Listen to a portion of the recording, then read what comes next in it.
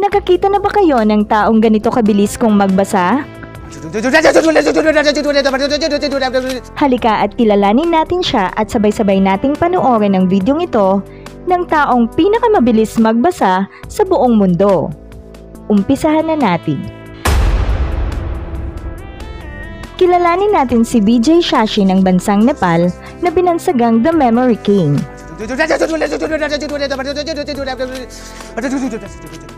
Si BJ Shashi ay nakatira sa isang remote place ng Kalikot, Nepal. Siya ang bunso sa tatlong lalaking magkakapatid at ang kanilang ama ay isang guro. Si BJ Shashi ay kinikilalang may hawak ng record na champion sa Book of World Record na kayang maisaulo ang 102 words in just 30 seconds.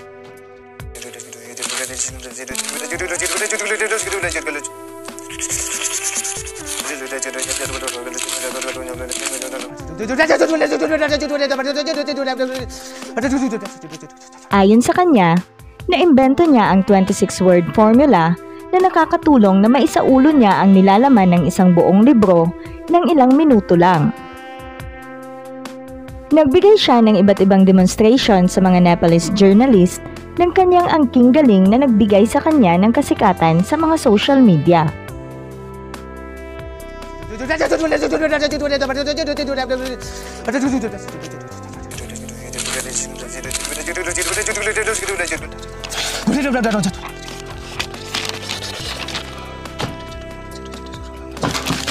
Gusto niyang i-implement ang kanyang formula sa education system ng Nepal para sa 100% literacy. Napaka-unique daw ng kanyang formula at siya pa lang daw ang may alam nito.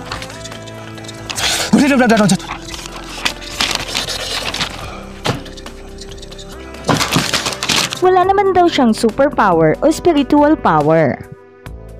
Ang tanging pinangahawakan lang niya ay ang kanyang formula na may 26 na numero na nagbibigay ng photographic memory.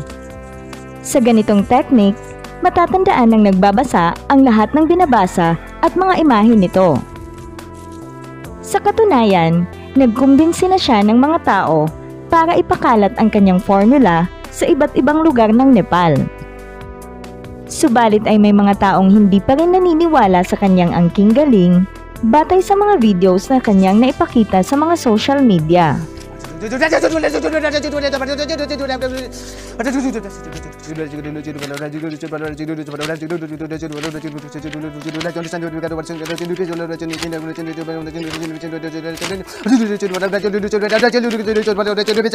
Maraming maraming salamat po sa lahat ng nakapanood at sana nagustuhan nyo ang video na ito.